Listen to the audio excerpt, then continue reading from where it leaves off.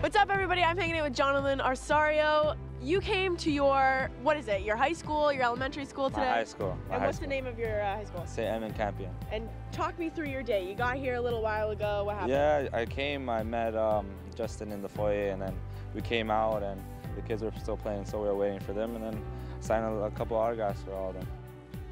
I was kind of bragging while I was in high school that I was going to become a professional soccer player, so was glad to come back and show them that uh, I achieved my dream. I was a nice kid. I was I was pretty shy, pretty shy kid for a grade 9 and 10. Then I started coming out of my shell and I got comfortable with everybody, but uh, I was just a nice kid. I used to go to every class, of course, and uh, and uh, I love to play soccer. We won OFSAA. I like to say that we're probably the best team in the history of high school soccer. Here's my 45 goals. Oh yeah, there's the other thing that he owned. Yeah, record. Yeah, it's still there.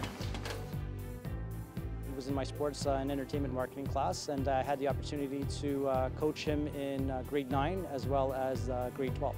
So we uh, hosted a elementary school soccer tournament here. This is the third year that we ran it. A little bit later on in the day, we had John show up as a uh, representative of Toronto FC and as well as a Campion alumni who was a captain of our team and helped orga our organization here at Campion win our first OFSAA championship in 2009. Um, and he had an opportunity to meet some of the kids here and sign some autographs and uh, do a little bit of a meet and greet. I was a good kid. Uh, he liked to joke around a lot in class. He liked to joke around a lot on field, uh, but he was always very respectful and uh, very well mannered. And uh, it's a pleasure to have him back here and be able to uh, see all the success that he's had.